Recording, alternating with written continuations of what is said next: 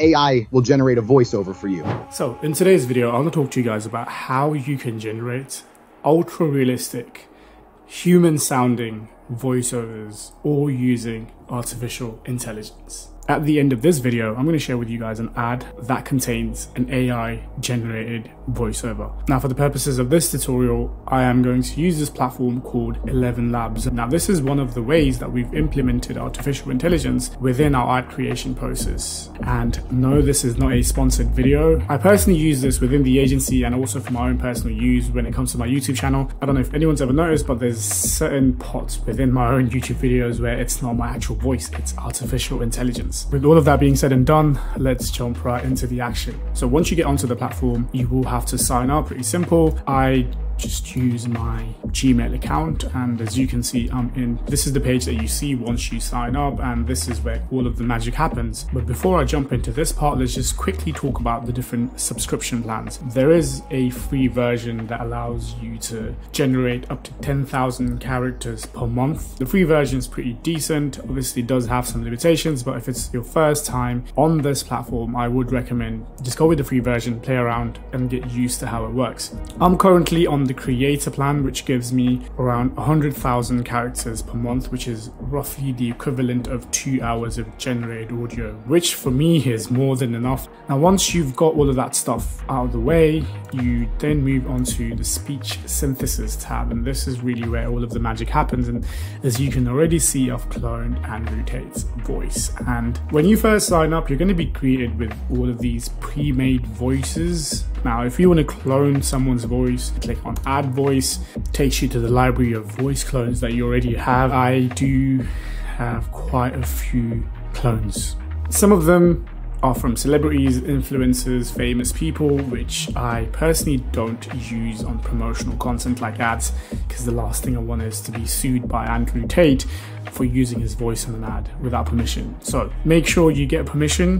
When it comes to designing or cloning a voice, there's currently two methods to do that. Let's talk about voice design and instant voice cloning. So voice design is essentially a random automated voice from Eleven Labs, and most of them do tend to sound a bit robotic, so I don't personally use this. What I do use quite often is the instant voice cloning. And the way this works is you upload samples of voice recordings onto the platform. Now, here's the trick with the samples it's not the length or the quantity, it's more about the quality. So if you have five really good voice recordings of the voice that you want to clone, that is more than enough. Once you've cloned a voice, then you go back onto the speech synthesis tab and type in whatever you want to type. Click on generate. Type in whatever you want to type in and AI will generate a voiceover for you. And it's really that simple. Now, when it comes to the voice settings, there's obviously stability and clarity. The more stable it is, the more robotic it sounds and the less natural the voiceover tends to be. So I usually keep the stability for most of my voiceovers at around 30 to 50%. Clarity plus similarity is essentially how similar the voice sounds to the actual voice of the person that you're cloning. Again, you don't want to make it too high because it tends to get robotic. I like to keep it anywhere between like 60 to 80 depending on the type of voice that I'm trying to generate.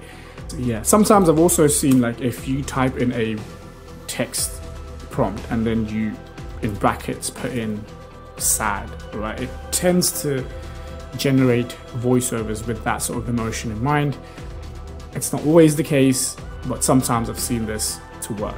Now here's a few tips and tricks when it comes to the actual number of characters. Try to stick to a limit of 500 characters at a time when generating your voiceovers. It just allows the AI to generate the best possible outcome. And when it comes to English voiceovers, ideally stick to like 11 monolingual V1. It does have like multilingual versions of it as well. I've not personally used it, but if you have then let me know in the comment section below. This is how we use Eleven Labs to generate ultra realistic human sounding voiceovers for our Facebook ads and give it a try. Let me know in the comment section below if you've ever used Eleven Labs or if you plan to use Eleven Labs for your next Facebook ad. Tired of muddy paw prints? I've got a solution. Try Paw Cleaner. Here's what's been great about it. Easy cleaning. I just add some water and a bit of their recommended shampoo to the cup, put in my dog's paw, and give it a little twist. The soft silicone bristles get the dirt out, and it's so much easier than anything else I've tried. Doesn't bug my dog? That's a big plus for me. They have three sizes to pick from, so it's good for any dog. It's just one of those things that makes dog ownership a little bit easier.